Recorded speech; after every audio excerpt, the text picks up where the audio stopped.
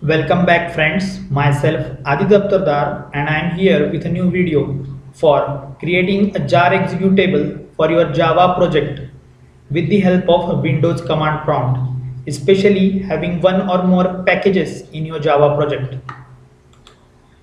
Now suppose this is my folder having a Java project.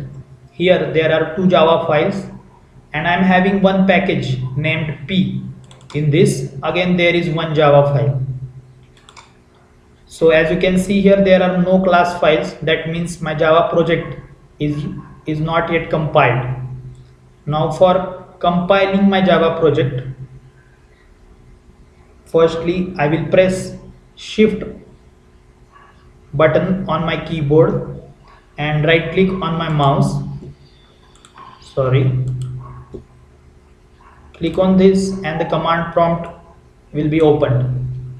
Now here you have to first set the path of your JDK for that use the command set path. Now this is my path of the JDK you have to choose your own path from the C directory of your um, and again in program files of Java and JDK etc. Now you have to compile your Java project with the help of javac command javac star dot java now this command will compile all the java files in your default package as well as in your further packages. Now we have compiled our project successfully. Now what we will do is before proceeding further we will create one text document in your in our default package with the name manifest now in this project I am having one main file. That is the entry point to my project. That means it is containing public static void main method. That file is sample.java so I have to specify my entry point in the manifest file. For that you have to write like this.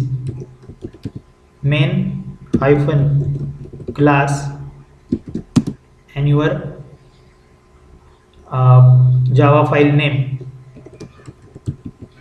Now here m and c should be capital. Now after writing sample just press the enter two times and save the file. Now you have to use command jar to create a jar file.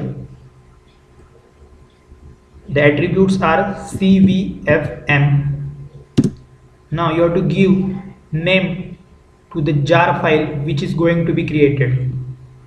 So i will just give name sample dot jar now again you have to specify your manifest file. So in my case